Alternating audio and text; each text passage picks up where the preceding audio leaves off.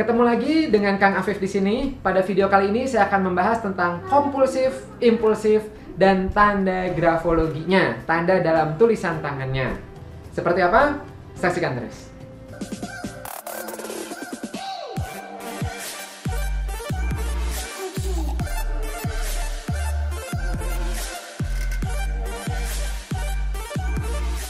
Ada kompulsif, ada impulsif.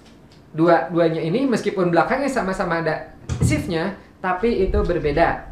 Kompulsif itu suka juga mungkin Anda pernah mendengar kayak misalnya obsesif kompulsif. Pernah mendengar seperti yang orang kalau mau cuci tangan harus tiga kali, ngunci pintu harus satu kali, dua kali, tiga kali seperti itu. Ya berbeda dengan impulsif, ya yaitu adalah gerakan-gerakan yang refleks atau yang e, cepat. Perilaku kompulsif dan impulsif adalah istilah yang menggambarkan dua bentuk perilaku dan memiliki perbedaan di antara keduanya.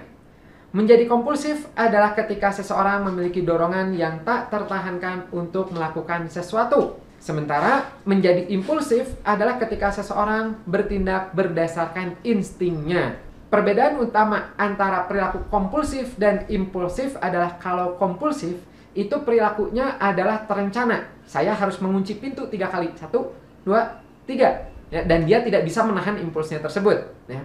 Nah, kalau impulsif itu perilakunya tidak direncanakan. Oke, kita akan mulai dulu dari yang kompulsif. Kompulsif dalam ilmu psikologi itu sudah masuk ke dalam ranah kecemasan atau anxiety, di mana pikiran dipenuhi dengan pikiran yang menetap dan tidak dapat dikendalikan, dan individu dipaksa untuk terus-menerus mengulang tindakan tertentu, menyebabkan distres yang signifikan dan mengganggu keberfungsian sehari-hari. Menurut para psikolog, bahwa seseorang dapat melakukan pengulangan suatu tindakan baik secara fisik ataupun mental yang luar biasa tinggi.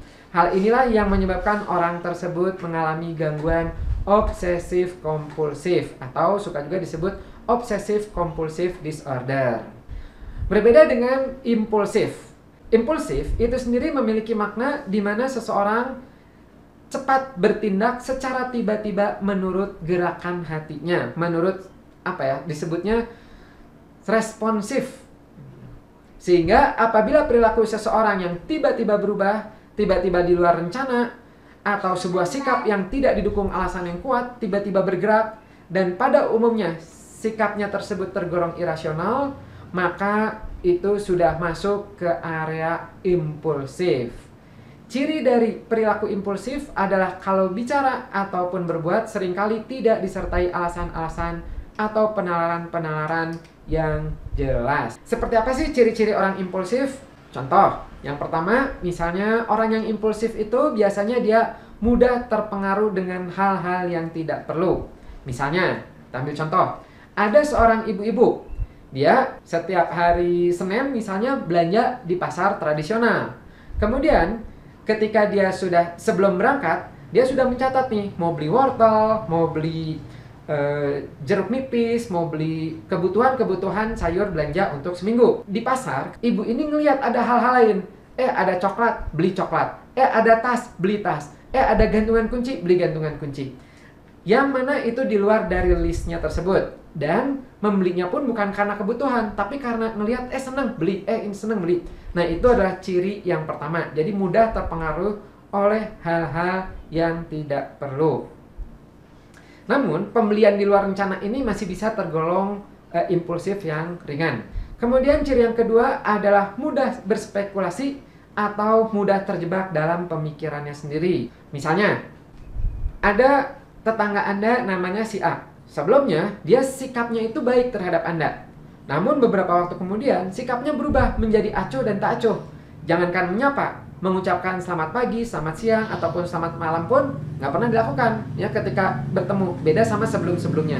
Bahkan Anda juga nggak tahu nih kenapa kok si A ini menjadi seperti itu. Kemudian untungnya Anda kenal sama si C ya tetangga lainnya gitu dan si C ini cerita bahwa si A itu pernah cerita dan ternyata menurutnya sikapnya ini dikarenakan pikiran si A menganggap Anda itu adalah Anda membeli tiba-tiba membeli barang, misalnya membeli kulkas, membeli TV gitu, dikarenakan Anda korupsi terhadap suatu hal. Nah, Padahal barang-barang yang Anda beli tersebut merupakan barang-barang yang dibeli dengan uang halal hasil kerjanya Anda. Nah, ciri-ciri si A itu itu bisa masuk ke taraf impulsi yang medium ya, yang sedang. Kalau yang tadi yang sebelumnya yang ibu-ibu beli di pasar itu eh, rendah, nah ini sudah masuk yang medium ya. Jadi udah bergejolak dalam pikirannya. Kemudian berikutnya ada contoh impulsi yang sudah tahapnya ini sudah rada berat yaitu kita ambil contohnya misalnya ada teman Anda si D dan si E. Yang mana si D dan si E ini sebelumnya saling bersahabat. Awalnya mereka tampak sangat akur. Bahkan di mana ada si D, di situ juga akan selalu ada si E. Sampai suatu saat tiba-tiba si E ini menjadi marah-marah ke si D.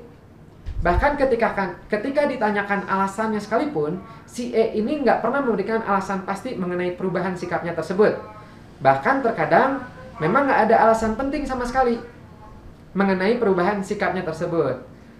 Nah, perubahan-perubahan ini itu juga udah termasuk impulsivity berat. Jadi ada di otaknya tanpa alasan yang jelas. Jadi itu itu adalah impulsi. Jadi irasional penyebab-penyebabnya e, beda ya kalau misalnya si E ini dia tiba-tiba nggak suka atau marah-marah karena hal yang jelas itu masih rasional. Tapi ketika itu tidak jelas, maka itu masuk ke ranah impulsiveness.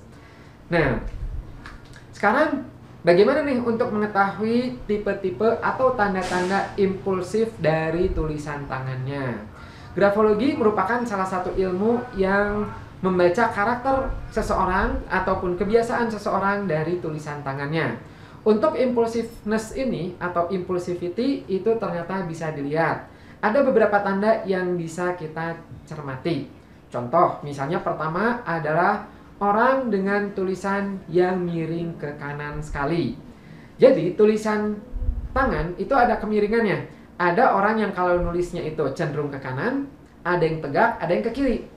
Nah, bahkan ada yang kanannya itu ekstrim, ya seperti ini contohnya.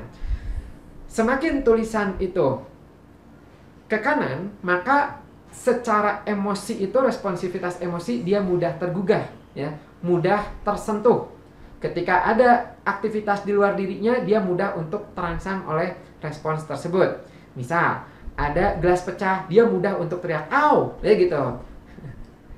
Ada misalnya ada anak kecil jatuh di depannya dia langsung bergerak eh anak kecil jatuh. Nah itu adalah tipe-tipe yang tulisannya miring ke kanan. Semakin miring kanan semakin impulsif.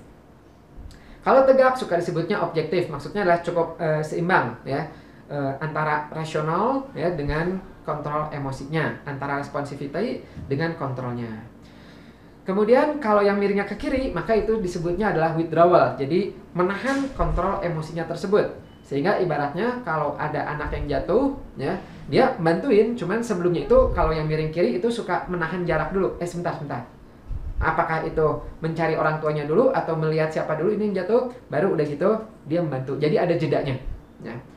nah itu adalah tanda yang pertama untuk impulsiveness jadi tulisannya miring ke kanan sekali kemudian tanda lainnya adalah tulisan yang lebar-lebar jadi kalau anda lihat tulisan itu misal anda uh, lihat huruf N atau A atau U ya gitu Normalnya tulisan itu antara tinggi dan lebarnya itu kurang lebih satu banding satu. Misal tingginya 3 mili, lebarnya kurang lebih 3 mili juga. Itu adalah e, proporsi normal atau standarnya. Ketika tulisan itu semakin rapat, maka itu disebutnya adalah repress. Dipress sama dia ditahan. Maka jangan kaget ketika Anda melihat ada orang yang tulisannya rapat-rapat, dia tidak mudah untuk menceritakan emosinya. Orang seperti itu biasanya akan lebih menghindari bahasa-bahasa perasaan dibandingkan dia menyebutnya saya rasa dia akan lebih saya lihat atau saya pikir seperti itu ya itu adalah yang dipres nah kebalikannya adalah yang tulisannya lebar-lebar semakin tulisannya lebar semakin disebutnya adalah impulsif ya. Impuls jadi emotionsnya itu mudah lepas atau mudah keluar. Nah itu juga bisa. Contohnya tulisannya seperti ini ya. Jadi seret gitu. Cepat sekali dia. Nah, itu adalah contoh berikutnya. Nah, ada tanda-tanda lainnya seperti misalnya tulisan yang terlalu tertarik ketarik ke kanan, ya, misalnya margin kanan, i-nya ketarik ke kanan dan berbagai right tendencies namanya, disebutnya adalah ketarik ke kanan. Namun dua contoh yang tadi di awal itu saja sudah cukup menjadi tanda-tanda impulsivity dari tulisan tangan. Cuman ingat dalam interpretasi grafologi kita tidak boleh menyimpulkan hanya dari satu tanda saja. Kita perlu mendinamikakan dengan tanda-tanda temuan lainnya. Oke, sampai sini dulu. Semoga bermanfaat. Jangan lupa di subscribe, di like, dan boleh di share. Ya. Sampai jumpa di video berikutnya dan sampai jumpa.